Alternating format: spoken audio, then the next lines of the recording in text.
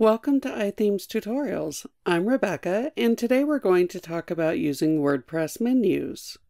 The WordPress menu system makes it quick and easy to add new pages, new posts, or custom content to your site menu. To get started, we'll go to Appearance, Menus, and we'll give our menu a name. For this theme, I'm creating a header menu that will be used at the top of our site. So once you've given your menu a name, just click Create Menu, and then you're ready to start assigning content. If you'd like to automatically add new top-level pages as they're created, select that option, and then you can also select your display location. In this case, I'm going to choose Top Menu for the theme. By default, you can choose Pages, Post, Categories, or custom links.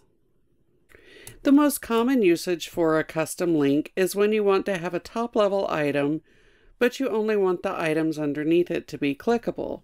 To do that, just enter the pound sign and then create your link text and click Add to Menu.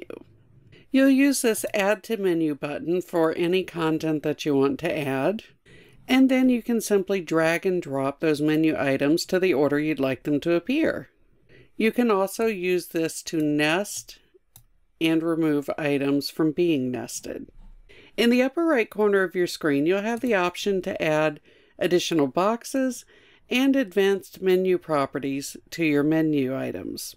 For instance, I'm going to turn on Link Target, and you can see how it added the ability to open a link in a new tab.